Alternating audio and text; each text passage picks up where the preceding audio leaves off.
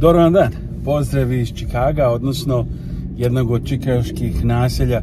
Često recimo kad sam u Srbiji pitaju kako je u Čikagu, kako je u Americi, normalno pitanje naravno, ali odgovor je veliki, ne može se dati u jednom video snimku, čak možda ni u desetinama ili stotinama video snima kompletan odgovor. Također, ono što je bitno je situacija možda se razlikuje, zavisi u kom ste delu Amerike, ima velikih razlika, u kom ste delu Čikaga, čime se bavite, kad ste došli, da li ste ovdje sami ili sa familijom.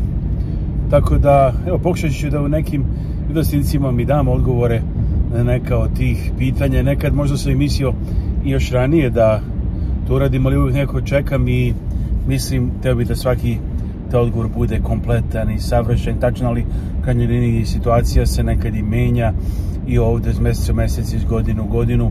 A također kažem, situacija možda zavisi od toga čime se bavite, kad ste i gdje ste došli, ali evo i sam Chicago u stvari je vrlo veliki pojam jer sama šira teritorija Chicago, gdje inače, kao što evo, sigurno znate, živi puno naših ljudi, je velika. Možete voziti od severo-zapadne Indijane, koja se smatra već širom teritorijom Chicaga, kroz samu gradsku teritoriju pregrađe Noju do južnog Wisconsina, oko dva sata. Znači, to je velika teritorija kada se s nekim nalazite, za veliki broj da se nalazite na kafi, recimo u Chicagu, treba vam, ne možete otići za nekoliko minuta pa šteti u gradu, treba često vozite barem pola sata, sat, možda i više.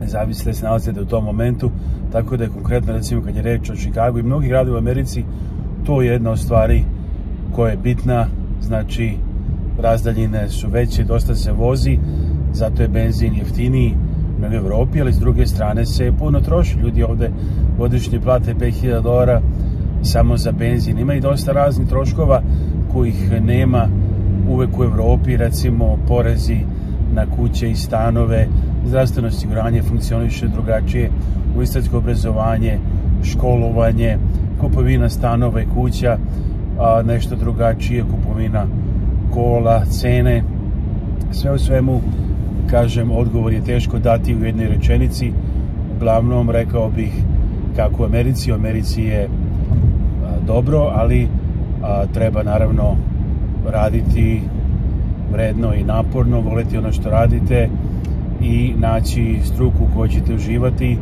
i naći odgovarajuću situaciju. sve zavisi također znači koliko trošite se rasprostirate što kažu prema svom guberu.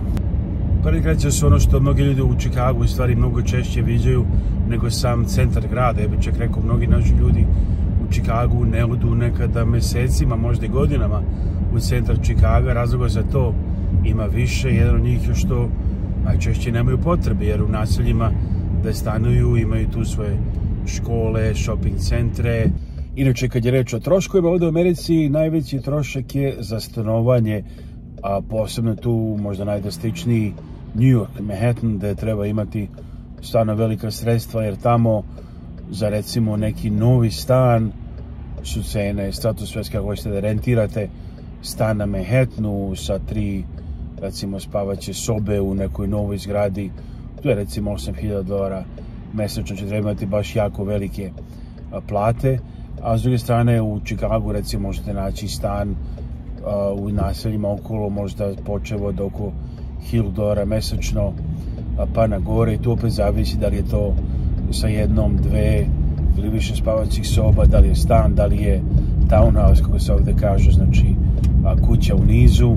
Ovdje sada skrećemo na ulicu Redwood Drive, srpska ulica se zove, ima napis sa druge strane, kad je prilaz, evo ovdje sada smo u ulici Redwood Drive, gdje je i srpski saborni hram u Čikagu, tu je, kažem, sada jedno veliko bosno bogosluženje, pa vidjet ćemo već, kad dođemo obično već u parkingu, mogu da vidim otprilike koliko ima ljudi, da li će biti nešto puno ili ne toliko puno.